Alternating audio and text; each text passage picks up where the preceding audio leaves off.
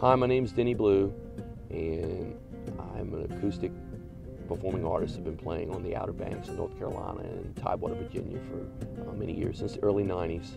Um, I've had the fortunate opportunity to open for some national acts like John Hammond and uh, Tony Trischka, as well as the Wallflowers. Those are pretty neat experiences.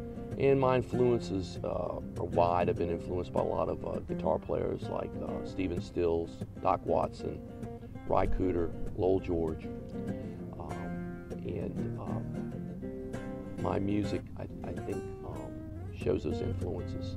Um, I like to incorporate the ambient sounds that you can find in a room, um, percussion, to bring that into the music and the shows, tapping on the floor, hand out uh, little percussion toys to the audience to get uh, uh, those folks incorporated into the show so we can all have a great time together.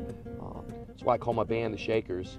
Uh, I bring a Tupperware of, of little implements like djembes and tambourines and maracas and cowbells so everyone can be a part of the event. And it um, makes for a great night to do that. Um, playing in a lot of areas uh, on the Tidewater and uh, Outer Banks right now, but in the future, I would like to concentrate more on doing festivals and seasons coming up and um, work more on my original material. I have a lot of original material and I'd like to get that out there.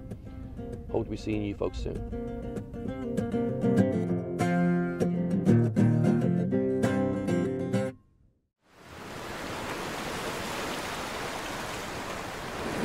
Done by Beach Band.